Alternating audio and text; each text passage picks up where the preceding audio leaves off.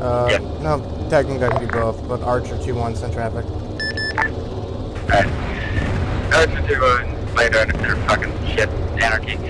Uh, just orbit the airfield for now, keep like a 500 meter-ish spacing for out from the airfield. Copy that. I'll uh, go ahead and keep 500 meters out, and uh, yeah, just a quick fix. That T-90 that was there spontaneously decided to want to become a spaceship. Yeah. What the fuck is engaging me? Hold on to mosque. Uh, there could be valuable intel we don't want it destroyed. Roger. Taking off runway 18. What the absolute fuck? That BTR part of their space program? And did someone just hit that midair with a rocket? Holy shit.